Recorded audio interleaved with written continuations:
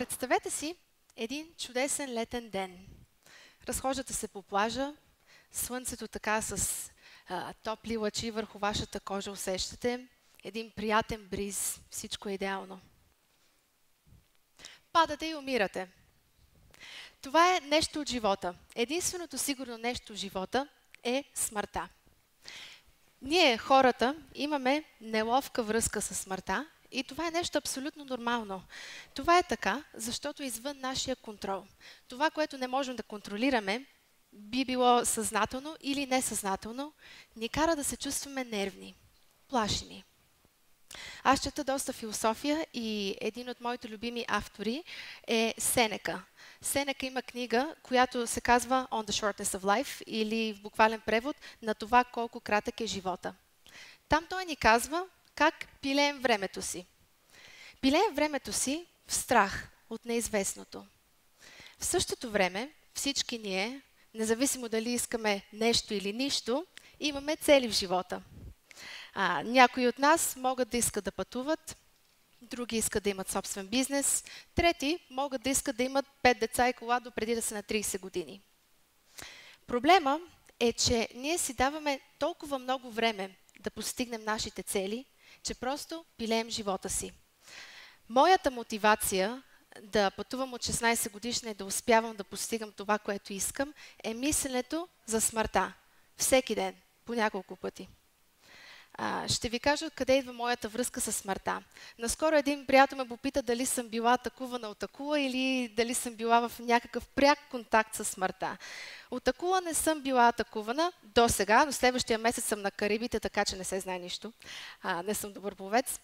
Но моята връзка с смъртта идва а, много отдавна. Когато бях на 11 години, баща ми почина внезапно беше нещо трудно за осмисляне, защото в събота аз бях нормално дете с нормално семейство и нормално детство. В понеделник това вече не беше така. И трудната част беше за дете на 11 години да осъзнае, че аз също нямам 100 години пред себе си да постигам това, което искам и да си давам време да правя нищо всеки ден в очакване на нещо да ми се случи. Тогава се мотивирах и реших всеки ден да работя върху това, което искам. моята главна цел тогава, както и сега, беше да пътувам. Когато бях в гимназията, знаех, че има програми, които дават стипендии на български ученици да пътуват в чужбина и реших това е. Това е моя шанс. Когато бях на 16 години, кандидатствах в 4 програми. Три ми казаха не, една ми каза да и ми даде пълна стипендия да уча в САЩ което беше абсолютно това, което иска в момента. Заминах за САЩ, беше първи ми път на самолет на 16 години и учих там една година в гимназия. Гимназията беше едно изключително нетрадиционно място. Беше разположена на територията на Ашрам, което е свещено място за медитация. И диетата беше изцяло виган, което означава, че не можеше да се яде пържолка, не можеше риба, яйца, такива неща. Сега, аз колко съм спазвала това правило, това е друг въпрос. Но беше първият, първия път в моя живот, когато отидох на дълго пътешествие и разбрах, че това, което искам да постигна, е възможно. След като завърших първата година в гимназията, трябваше да се върна тук и да се завърша в правец.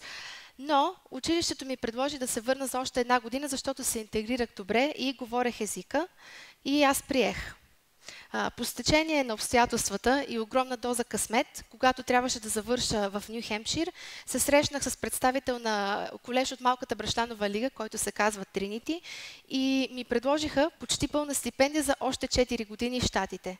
Така се озовах в Канектикът, в колеж, учейки философия, политика, изкарвайки двойки по математика, испански, както и да е. И беше колежа тогава, когато реших, че моята мечта всъщност може да се сбъдне и мога да пътувам. Продължих да мисля за смъртта. Продължих с моята мотивация.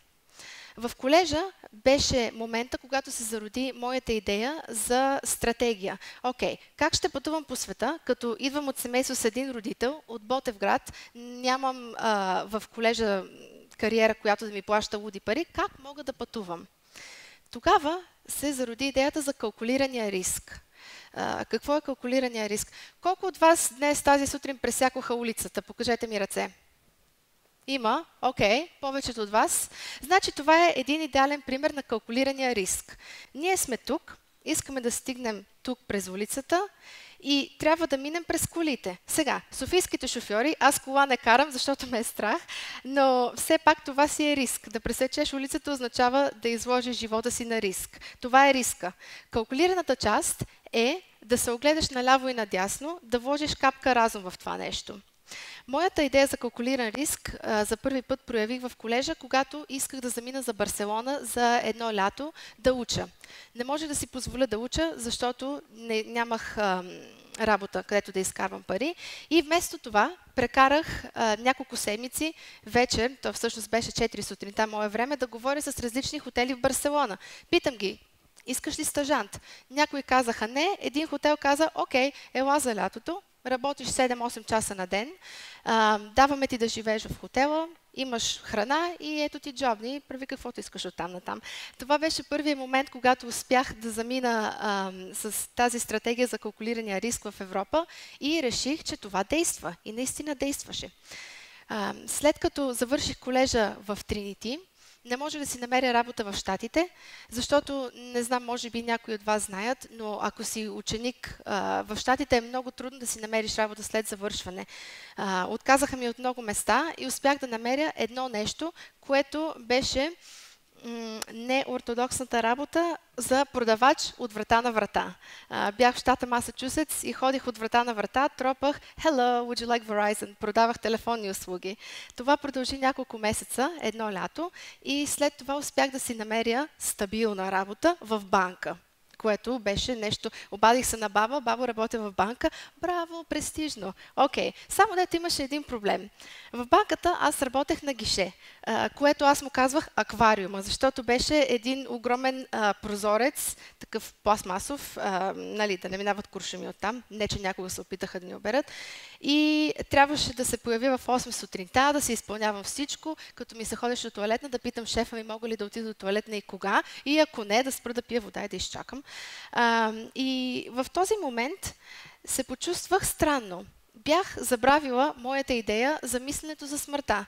Вече целите ми е, виждах като че ли са много по-далече от мен и не бях целеустремена, нещо липсваше. Изпаднах в депресия и си казах, окей, нещо трябва да се направи.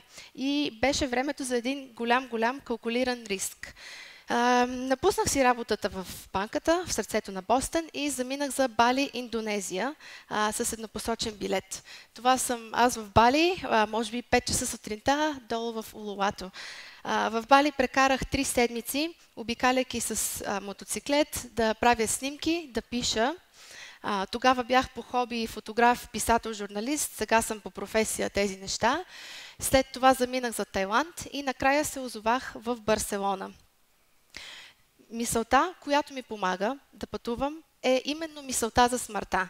Може да изглежда като нещо тъмно. Никой не иска да си мисли за момента, когато ще спре да съществува. Никой не знае какво съществува след смъртта. Сега, sci-fi и фентази филмите си имат техни идеи какво е след това, но никой не знае. Моята идея е, че вместо да се страхуваме от това нещо, трябва изцяло да се впусне в него.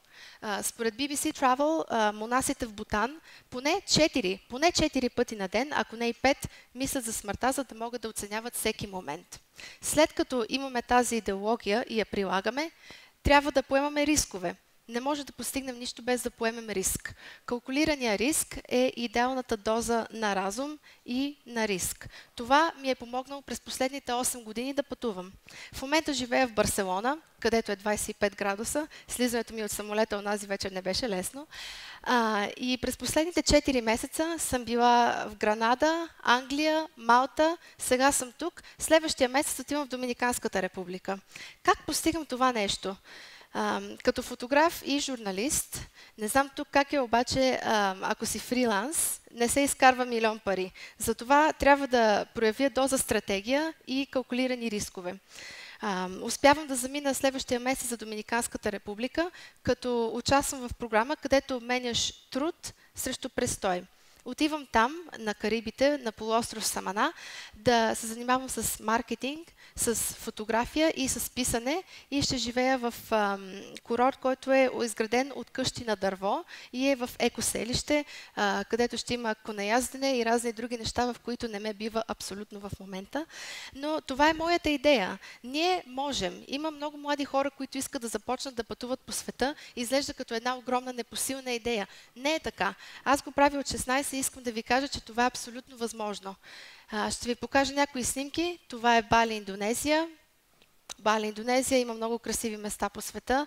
Това е Барселона. Барселона.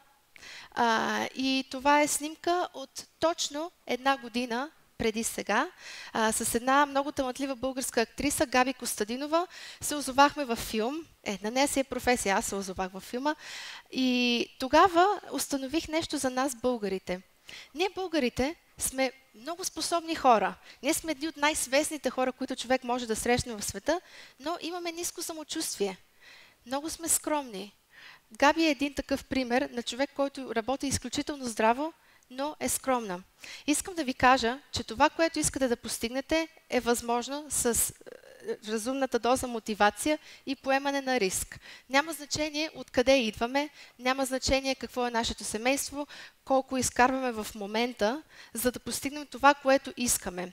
Искам да ви кажа, че ние всички можем, пътуването може да е реалност, това да имаме собствен бизнес може да е реалност. Мислете за смъртта, това ще ви помогне да оценявате всички моменти и поемайте рискове. Мерси.